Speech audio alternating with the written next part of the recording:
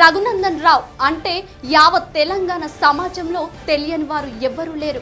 నేను కూడా తెలంగాణ ఉద్యమంలో పాల్గొన్నాను నేను కూడా తెలంగాణ బిడ్డనే. చుట్టూ పెద్ద పెద్ద నియోజకవర్గాలు పెద్ద పెద్ద నాయకులు ఉన్నప్పటికీ కూడా దుబ్బాకకు ఆశించిన రీతిలో అభివృద్ధి జరగలేదనేది ప్రజల యొక్క ఆవేదన ఆక్రందన. మాకు అధికారాన్ని ఇచ్చినందుకు మమ్మల్ని గెలిపించేందుకు ప్రజలు సహాయ సహకారాలు అందిస్తున్నారు. అంటే నా గెలుపును అడుగుతుందని కుట్ర చేస్తున్నారు. ఒకటి చీకటి అయితే రెండోది దొంగ దుబ్బాకని అభివృద్ధికి ఆమె దూరంలో నిలబెడుతున్నారు. పాటలు కోటలు దాటుతున్నాయి చేతలు తంగేలు దాటుతలేమని పేపర్లను భయపట్టిస్తుంది రిపోర్టర్లను భయపట్టిస్తుంది డబ్బులు ప్రజా ఆగ్రహాలను ఎవరైనా మాడి మసిగా